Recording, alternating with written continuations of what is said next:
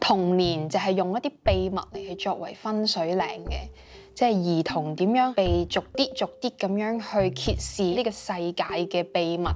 就係佢哋慢慢成為一個成年人嘅一個過程。誒阿妙啊，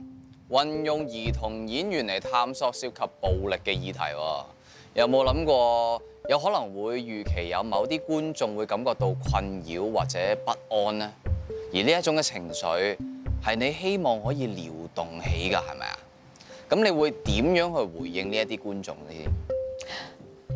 今次給美迪亞的男孩們咁就邀請咗八至十一歲嘅兒童演員嚟參與呢個演出。其實呢個過程中咧都會有一啲亦步亦趨嘅感覺嘅。早期去做一啲資料搜集嘅時候，咁我睇咗一個社會學家，咁佢就討論究竟童年係點樣建構出嚟嘅咧？咁嗰句説話，佢大概嘅意思就係話。童年就係用一啲秘密嚟去作為分水嶺嘅，即係兒童點樣喺佢成長嘅過程入面，被逐啲逐啲咁樣去揭示一啲關於呢個世界嘅秘密，就係佢哋慢慢由童年嘅階段成為一個成年人嘅一個過程。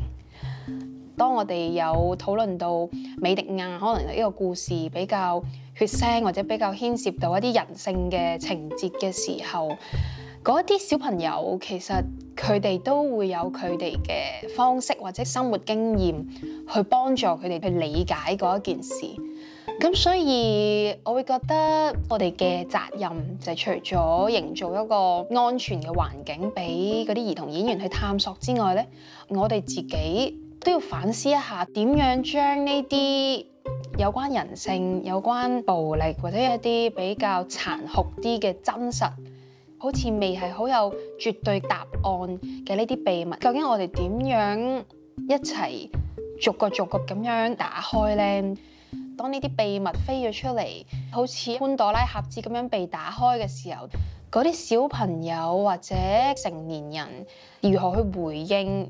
又會唔會可以揾到一啲喺呢啲秘密隱藏咗之後，關於世界嘅真相？咁我估呢個係我哋階段展演最想做到嘅事情嚟嘅。